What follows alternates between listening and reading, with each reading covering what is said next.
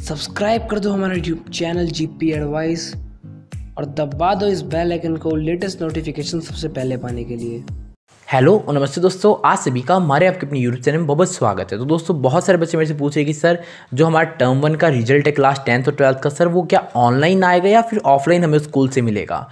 तो गाइज़ मैं आप सभी को बताना चाहूँगा कि जो टर्म वन का रिज़ल्ट है आपका, वो आप सभी का जनवरी के मंथ में आएगा और वो ऑनलाइन वेबसाइट पर ही जारी होगा। सीबीएसई की जो ऑफिशियली वेबसाइट है, उस पर क्लास टेंथ का और क्लास ट्वेल्थ का रिज़ल्ट ऑफिशियली आएगा।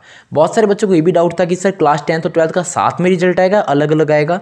तो गाइज़ देखो वन वीक का गैप रहेगा दोनों के बीच में और दोनों का रिज़ल्ट अलग अलग आएगा। लेकिन वो नहीं है कि रिज़ल्ट जैसे पहले होता था कि रिज़ल्ट का आप लोग वेट करोगे, वो सब नहीं होगा।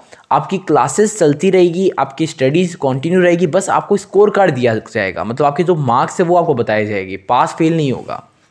और जो स्कोर कार्ड है वो ऑफिशियली सीबीएसई की वेबसाइट पे आएगा। आप लोग खुद उस स्कोर कार्ड को चेक कर पाओगे। सीबीएसई का कोई फिक्स डेट नहीं होगी कि इस डेट पर आएगा, इस डेट पर आएगा। बस सीबीएसई ने कहा कि हम जनवरी के मंथ में रिलीज़ कर देंगे।